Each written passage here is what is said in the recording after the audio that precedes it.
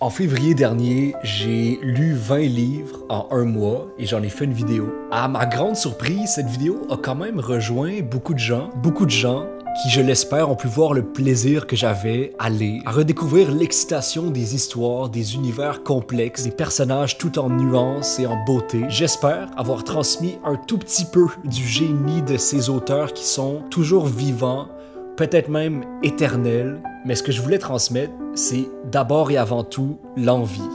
L'envie que j'avais de me plonger dans ces romans. Bon, ça n'a pas été sans critique quand même. Lire 20 livres pour n'en rien dire. Mieux valait à ce compte lire un livre en 20 mois. L'expérience eût été plus substantielle. Tout est devenu consommation. Nous n'assimilons rien. Le temps est précieux.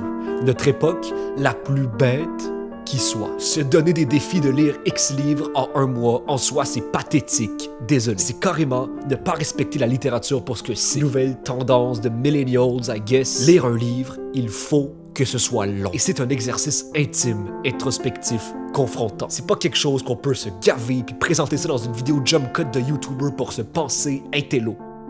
Est-ce que quelqu'un peut m'expliquer pourquoi les millennials gâchent toujours tout? Je sais pas pour vous, mais moi je me lance un nouveau défi, celui de lire 40 livres en quarantaine.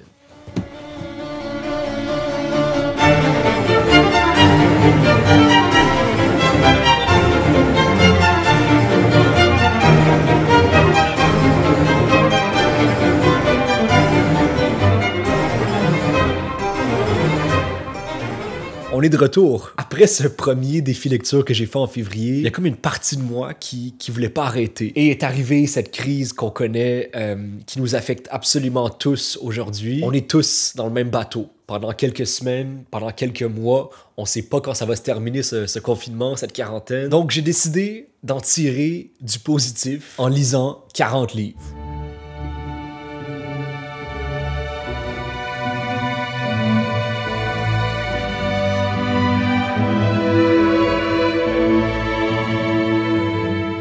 Y a quelque chose de particulièrement beau avec la lecture. Parce qu'un roman, c'est avant tout une expérience individuelle, mais qui ne peut que te rapprocher d'une compréhension du collectif. Bien entendu que le nombre n'a aucune importance. 20 livres, 40 livres, ça ne veut rien dire. Mais c'est le défi que je me suis donné pour me challenger, pour rattraper d'une certaine manière le temps perdu, pour tenter d'ajouter des subtilités dans ma vision du monde et de l'histoire, pour comprendre, pour voyager, pour nuancer, pour remettre en question, pour rêver.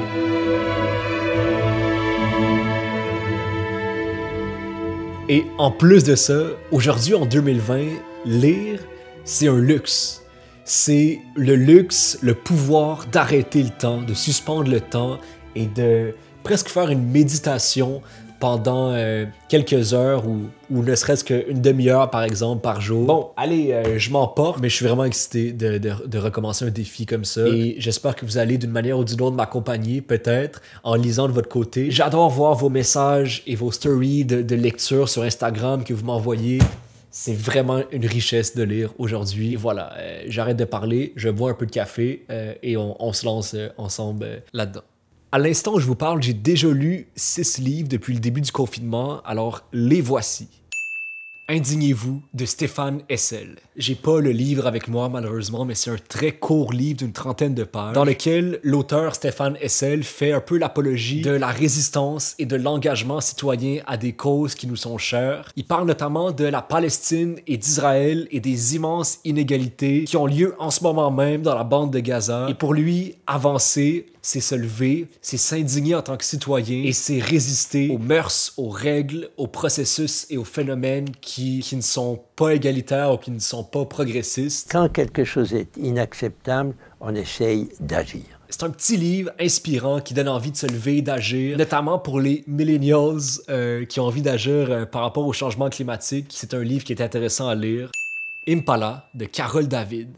Carole David, c'est une autrice québécoise connue notamment pour sa poésie et qui a fait aussi quelques romans de fiction, dont celui-là. Je suis tombé sur ce roman un peu par hasard dans une librairie qui revendait des livres usagés. Et dans la section des livres euh, classiques québécois, il y avait ce roman. Je sais pas pourquoi, peut-être la couverture de couleur m'a attiré, je l'ai choisi. Ça n'a pas été un immense coup de cœur pour moi. C'est une histoire de famille au Québec euh, qui est impliquée dans des histoires de crimes. Et le personnage de Louisa, qui est une jeune fille, tente de comprendre l'histoire de sa famille, de sa mère notamment, et du mari de sa mère qui a disparu pour la plupart de leur vie.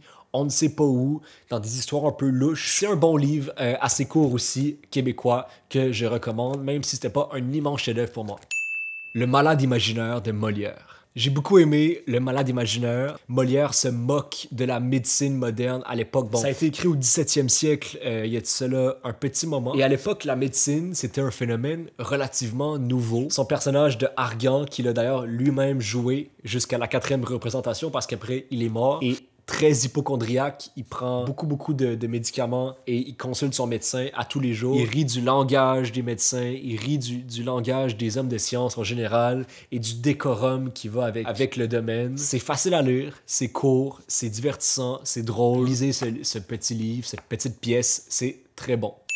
Le zèbre de Alexandre Jardin. Il y a beaucoup de livres qui parlent d'amour. Il y a beaucoup de livres qui mettent en scène des relations amoureuses, le désir, l'envie, la jalousie. Mais le Zeb le fait d'une manière extraordinairement originale. Alexandre Jardin joue un peu comme un marionnettiste avec l'amour. Je veux rien spoiler, mais la première partie du livre se lit avec un immense sourire sur les lèvres. C'est vraiment bien écrit. D'ailleurs, Alexandre Jardin fait des, références à Stendhal et au Rouge et le Noir que j'ai euh, juste ici en haut. Voilà, c'est connu quand même, mais je le recommande absolument. C'est extrêmement bon.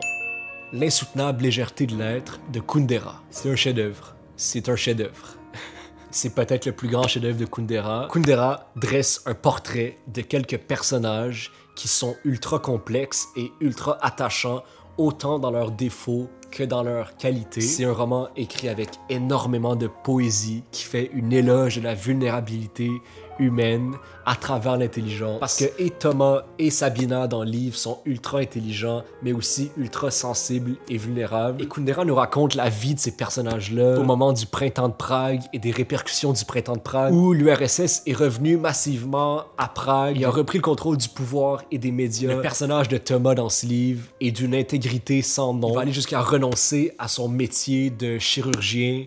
Euh, il va devenir laveur de vitres. Il ne veut pas renoncer à ses opinions, à ses engagements politiques. C'est brillant. Kundera fait une critique du kitsch. Kundera critique ce, voile esthétique qui est parfois naïf. Euh, qu'on met sur les choses, sur les histoires. Voilà, je vais pas trop m'éterniser. C'est un livre qu'il faut lire et relire et relire dans sa vie, qui est magnifique. Lolita de Vladimir Nabokov. Il y a encore aujourd'hui une controverse par rapport à ce livre aux intentions de ce livre, aux intentions de son auteur. Pour vous mettre en contexte sur l'histoire de ce livre, c'est l'histoire d'un homme dans la trentaine qui tombe amoureux d'une jeune fille de 12 ans. C'est une histoire donc qui traite de pédophilie. C'est une histoire où il y a des moments très troublants, des moments difficiles à lire en tant que lecteur, mais aussi des moments extraordinairement éloquents et bien écrits dans ce livre. C'est difficile de parler de ce livre. Parce que d'un côté, t'as des gens qui disent que Vladimir Nabokov met en lumière euh, des moments sordides, des personnages sordides qui pourraient en inspirer certains dans la vraie vie. Et d'un autre côté, ben c'est une fiction qui est extraordinairement bien écrite et qui te permet de remettre en question aussi beaucoup de choses. Dans les notes à la fin du roman, l'auteur euh, parle un peu de son intention et en gros ce qu'il dit c'est qu'une œuvre de fiction doit pouvoir rester une œuvre de fiction. Une œuvre de fiction n'a pas toujours un message ou un propos ou une intention même. Et ça peut même devenir dangereux si on se dit qu'on ne peut plus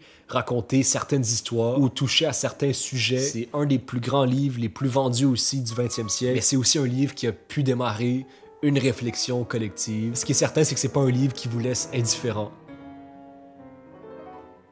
Ok, on a fait une petite ellipse dans le temps. On est le 2 avril aujourd'hui et j'ai un petit peu avancé euh, mes lectures. Hier soir, j'ai fini ce petit livre que j'ai énormément aimé. L'existentialisme est un humanisme de Jean-Paul Sartre. C'était pour moi un peu une introduction à l'œuvre et euh, aux idées de Jean-Paul Sartre. Et je dois dire que l'existentialisme de Sartre m'a beaucoup rejoint. Je suis d'accord avec beaucoup, beaucoup des choses que Sartre aimait euh, dans son livre. Sauf que là, vous êtes un petit peu trop loin. On va s'approcher. Il y a une phrase de Sartre qui est très connue qui va comme suit L'existence précède l'essence. Et cette phrase, c'est l'idée fondamentale de l'existentialisme de Sartre que je peux essayer de vulgariser au meilleur de mes capacités. Ok, prenons cet objectif de caméra. C'est un objet qui a été créé par nous les humains. Et avant même de construire cet objet-là, on avait une idée extrêmement précise de son utilité, de son essence, de sa fonction. Ça allait servir très concrètement à prendre des photos, à prendre des vidéos, à créer des images avec de la lumière. C'est ça vraiment son utilité prédéterminée. Maintenant, ce que Sartre dit dans son existentialisme, c'est que les êtres humains, quant à nous, au moment où on arrive sur Terre, au moment où on est, on n'a aucune fonction, aucune essence prédéterminée. Notre existence sur Terre précède notre essence. Sartre ne croit pas en Dieu, Sartre ne croit pas à aucune forme de déterminisme. Et donc, à partir de ce constat, pour Sartre, il y a deux effets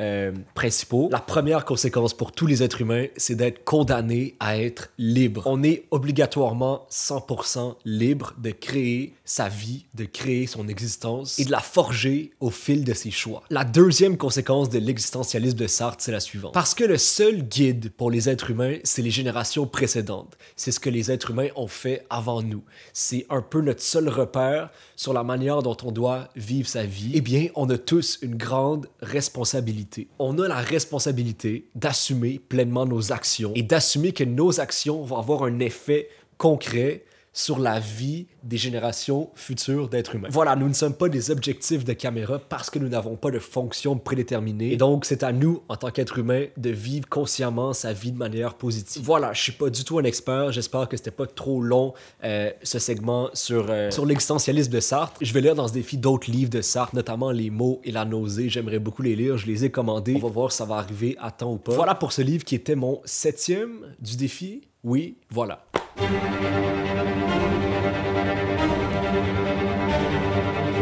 Pourquoi cette si soudaine passion pour la lecture, Émile? Moi-même, j'essaie de me l'expliquer. J'essaie de comprendre cette sorte d'intensité ou d'obsession même que j'ai avec les romans et la lecture depuis quelques semaines. Ce que je peux vous dire, c'est que je me suis rarement autant senti stimulé que depuis que je lis autant de livres j'ai l'impression que je suis devant une immense montagne, un immense chemin, un chemin qui a été pavé par des génies. Il y a trop de livres importants pour ne pas lire en ce moment. Chaque époque l'est peut-être, mais je peux vous dire qu'on est à une époque cruciale et pour aller chercher des outils, des clés importantes, autant commencer tout de suite à s'intéresser à des nouvelles réalités. Voilà pourquoi je lis. Voilà pourquoi je vais lire 40 livres dans cette quarantaine. Peu importe où vous êtes en ce moment dans le monde, on est ensemble là-dedans. Et si vous ne croyez pas, ben j'ai quelque chose pour vous. Allô, je m'appelle Marianne. Salut, je m'appelle Basile. Je m'appelle Marja. Moi, c'est Raphaël. Je m'appelle Katia. Je m'appelle Timéo. Je m'appelle Estelle. Je m'appelle Samila Loukama. Je m'appelle Camille. Je m'appelle Martin. Je m'appelle Sarah. Je m'appelle Camille. Je m'appelle Jules. Je m'appelle Stéphane. Je m'appelle Alexander. Je m'appelle Eloïse. Moi, c'est Santiago. Je m'appelle Aliette. Je m'appelle Evan. Je m'appelle Juliette. Je m'appelle Ren. Je m'appelle Laurence Orban. Je m'appelle Julie. Je m'appelle Jessie. Je m'appelle Jeanne Bellefeuille. Je m'appelle Jorge Cuellar. Je m'appelle Paola. Je m'appelle Alexia. Je viens de Montréal. Je vis à Dakar, au Sénégal. Je viens de Sherbrooke. J'habite près de Lille, en France. J'habite à Montréal. Proche de Toulouse. J'habite à Casablanca, au Maroc. J'habite à Pavzan, en France. J'habite à Ciudad Juárez, Mexico. J'habite à Lévis. J'habite à Belleuil. J'habite à Lima, au Pérou. J'habite à Jonquière, au Saguenay. J'habite en Suisse. J'habite à Bogota, en Colombie. Je reste à Repentigny. Je de Salvador J'habite à Barcelone. Je suis en train de lire le livre L'homme qui va changer le monde. La géopolitique du moustique d'Éric Orsena. La conscience est maintenant de l'or. Les paradis artificiels de Baudelaire. Et je suis présentement en train de lire The Spy and the Traitor de Ben McKeitner. Nos amis les humains de Bernard Werber. L'insoutenable légèreté de l'être. Le prince de Machiavel. Et ce que je lis en ce moment, c'est la saga de la passe miroir? Je suis en train de lire Les choses de Georges Perec. La série Keisha d'Elisabeth Cameron. Tu peux toujours rester de Valérie Chevalier. Pourquoi j'ai mangé mon père de Roy Lewis? Le mystère de la patience de Justin Goldie. C'est Les poissons de l'eau de Mario Vargas Llosa. Le livre que je suis en train de lire s'appelle Gadji de Lucy Land. Moi je suis en train de lire Life of Pi. L'esthétique du film. Bien au-dessus du texte tome 2 de Virginie Despentes. Moi ce que j'aime c'est les monstres d'Emile Ferris. Freud, le rêve et son interprétation. La cathédrale de la mer. Tout bleu du ciel de Mélissa d'Acosta. Devenir super conscient. J'ai commencé le livre de Christine Brouillette, Chambre 1002. Et en ce moment, je suis en train de lire le roman de José Saramago. 21 Lessons for the 21st Century. Et en ce moment, je lis la biographie de Michelle Obama. On se retrouve très bientôt pour la deuxième partie.